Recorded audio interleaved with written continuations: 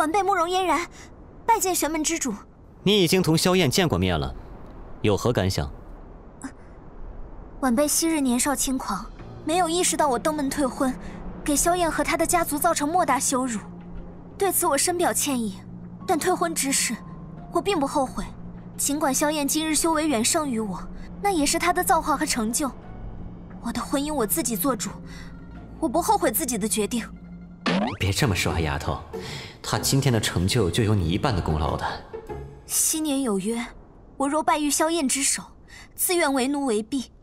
但这个赌约我却无法践行，我的家族、我的师门都无法接受这样的结果。但昔日的错误，我愿以自己的生命偿还。流光剑宗的青霭道友是你的师祖吧？他眼下就在此地向南三百里外。他说是来迎接本座一行人，但现在看来，他似乎是来找你的。啊！弟子不知师祖为何来此，弟子只是自己外出游历，正准备返回流光剑宗。那正好，本座这就唤青霭道友过来，你跟他一起回去好了。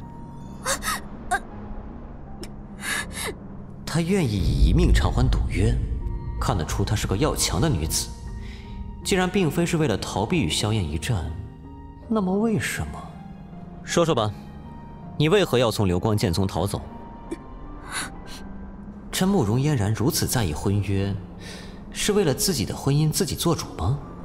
三年之约在即，流光剑宗恐怕正急于找个后台以对抗玄门天宗。流光剑宗准备派你与谁联姻？蜀山剑宗还是大秦皇朝？晚辈不知道前辈在说什么。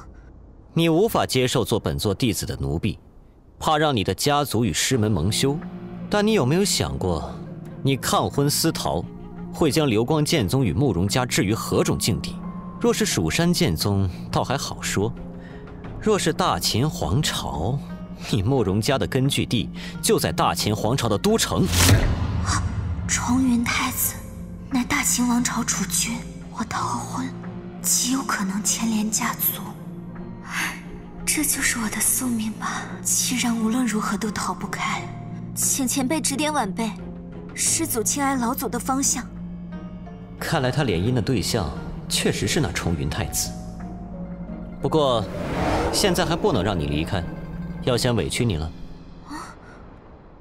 最近可有什么有趣的事情发生？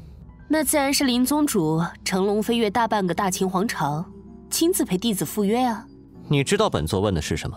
大秦皇朝储君重云太子最近离开了皇朝都城，行踪不明。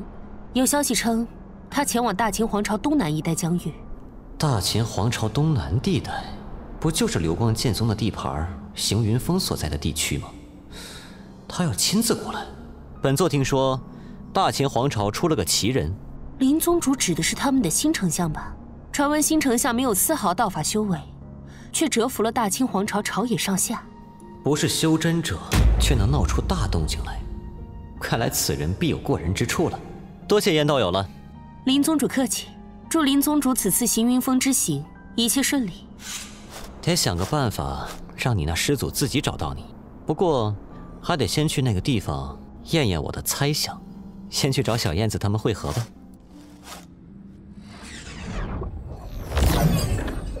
去行云峰之前，本座打算先顺路去一个地方，青矮道友可愿同行？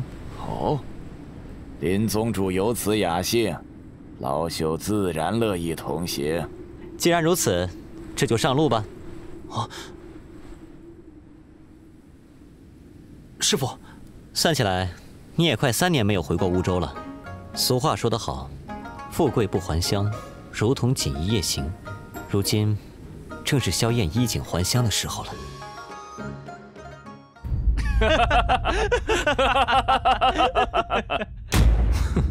十二岁一场大变后，我就再也没见过这些人的笑脸。世间没有无缘无故的爱，也没有无缘无故的恨。今时不同往日。你早已不再是当初的你，旁人的目光自然会发生改变，莫要因为旁人的目光而影响你自身的情绪。啊，多谢师傅教诲，是弟子着相了。啊，啊，爷爷，我回来了。好孩子，好孩子。爷爷，这是我师傅。小老儿拜见玄门之主，感谢玄门之主对燕儿的再造之恩。无需多礼。所谓师傅领进门，修行在个人。小燕子若非可造之才，本座也无法让朽木变成璞玉。爷爷，真儿不在吗？